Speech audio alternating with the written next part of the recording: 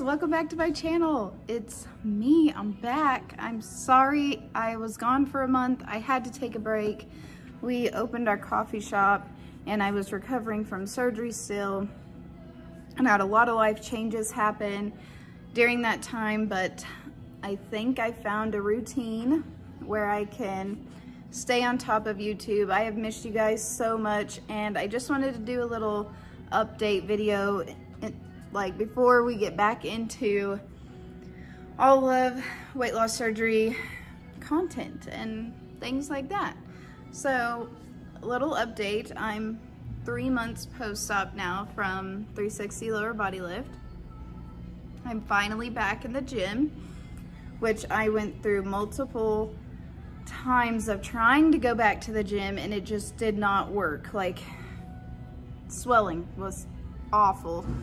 Um, it still is bad sometimes depending on the day, but I'm really trying to focus on my eating and eat for like a anti-inflammatory diet so that I can minimize my swelling because it really hurts. And I don't think, a lot of people say that it can last, you know, six months to a year after skin removal, but they don't go into detail about how rough it really is.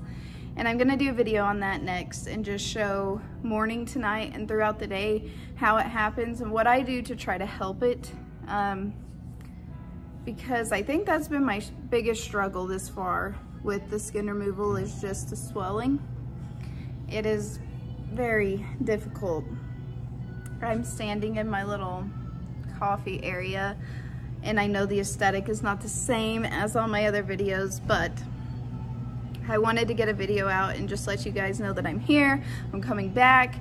I think I'm going to do weekly videos. Um, every Wednesday is probably going to be the best for me. If not Wednesday, maybe Sundays.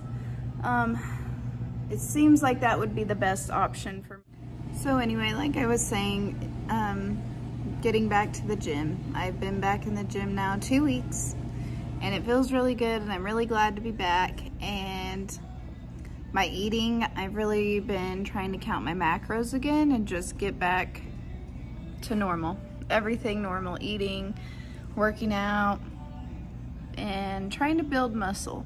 I know it's gonna take a long time with um, the surgery and healing and dealing with everything that comes from that, but I really wanna get muscle back because during recovery I lost quite a bit too and that's kind of hard because now it feels like I'm starting all over. I'm super weak. I can't do like hip thrusts and stuff yet. It just really hurts where my incision's at. It feels like pins and needles whenever you're lifting, so it's just not good. But anyway, I know this is a super short update, but this is where we're at, and I will be back to my normal content and all of that Wednesday, so be on the lookout for the new video. Like, subscribe, and follow me over on Instagram at Jordyn2 underscore Lee, and we'll see you in the next video.